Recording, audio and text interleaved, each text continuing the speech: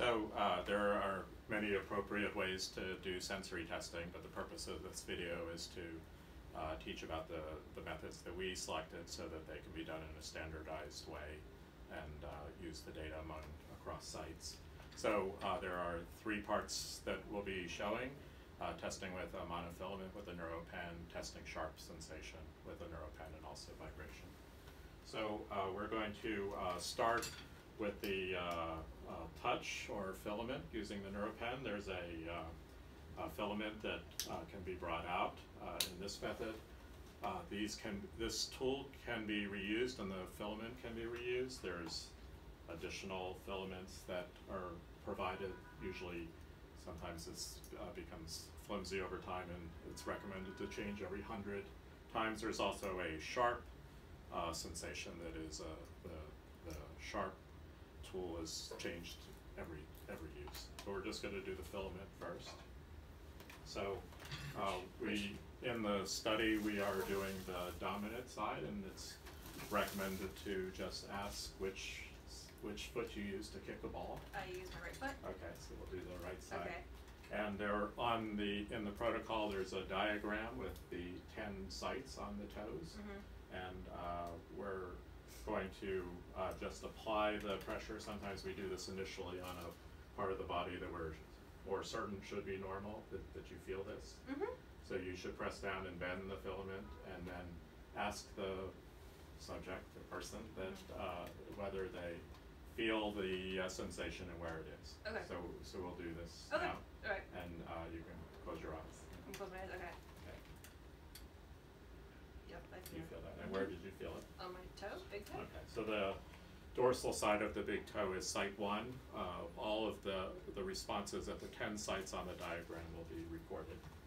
And they should be done in random order. Do you feel that? Yeah. And where do you feel it? Above my ankle or Okay. heel, heel. Okay, and where do you feel that? Uh, on the ball of my foot, And where do you feel that? tip of my toe. Where do you feel that? Uh, is it the last toe? Yes. Okay. Okay, and then all of the ten sites are done in that order, and then the responses are, are recorded. Okay. two, three, four,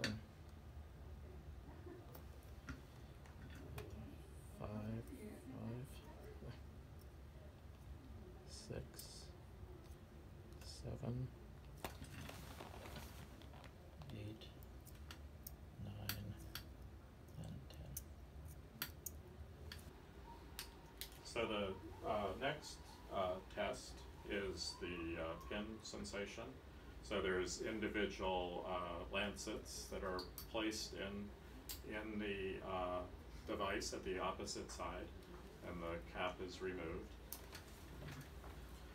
And uh, putting the pressure on, there's a fixed uh, pressure of 40 grams that's uh, induced. And we, for this part of the test, we do the same 10 sites. Okay. So, um, again, do you feel, you feel yeah. that? I feel it. Yeah. So you should tell me if you feel a sharp sensation. A sharp sensation. Yeah. And where did you feel it? On the heel, Okay. on my toe, And it was sharp? it was sharp. On my last toe, Okay. Was it painful? no. You could just tell that it's sharp. It yeah. So it did. It was sharp on my big toe. Yeah, so then again, we do all, all ten sites and record the responses for, Mhm. for all ten sites. And then this goes in the sharp container, which